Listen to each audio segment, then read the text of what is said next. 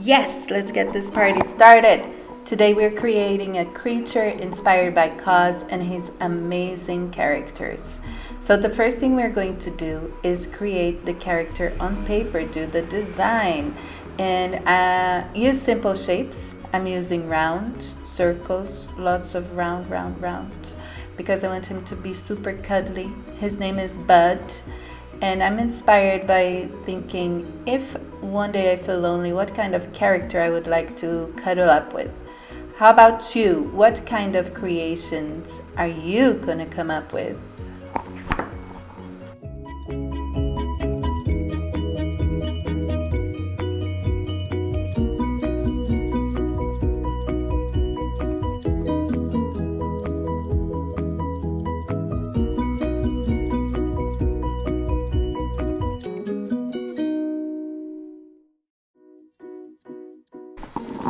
All right, now we're moving on to our sculpture.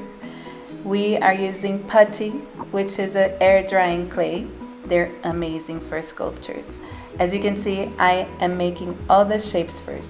So these are my arms. I've done the head, I have shaped the arms, and I'm shaping the legs. So I'm going to do all the shapes first and then put them all together like a puzzle.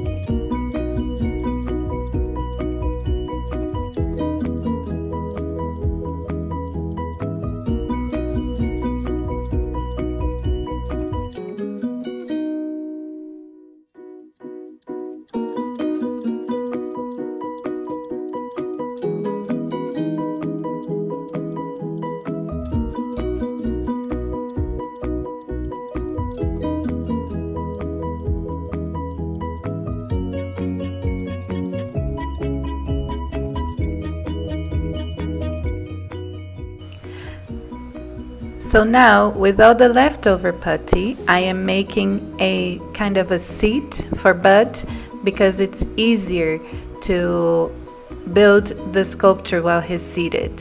So as you can see, I'm putting all the pieces of the puzzles together. That's his round shaped body.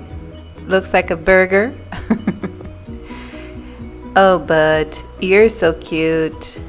I put his legs and I'm gonna put his arms his toes and don't forget his fingers.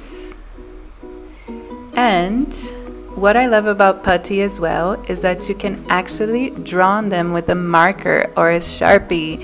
And it looks so cute. Bye